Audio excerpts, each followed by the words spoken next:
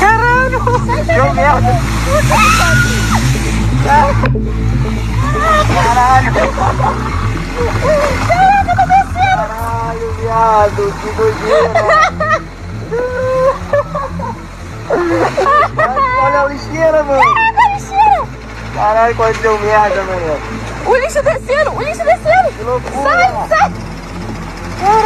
Caralho, Na quinta-feira, dia 16, o litoral do estado do Rio de Janeiro foi palco de uma impressionante e assustadora ressaca, que provocou a invasão das ruas de Itaipuaçu, em Maricá.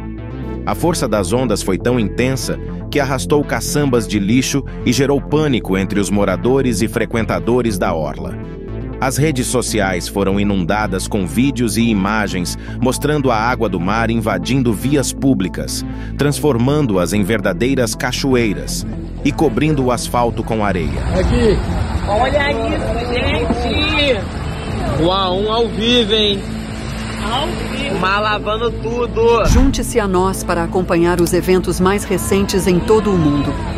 Vem pra praia, vem. Vem pegar o jacaré. Não consegui filmar não, mano. Caraca. Que isso, irmão? Corri, corri. Ah, viajou.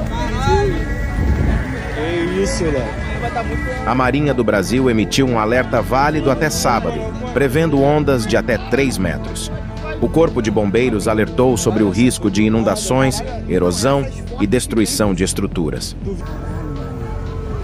Pô, eles acabaram de varrer tudo, mano. Areia, teve areia?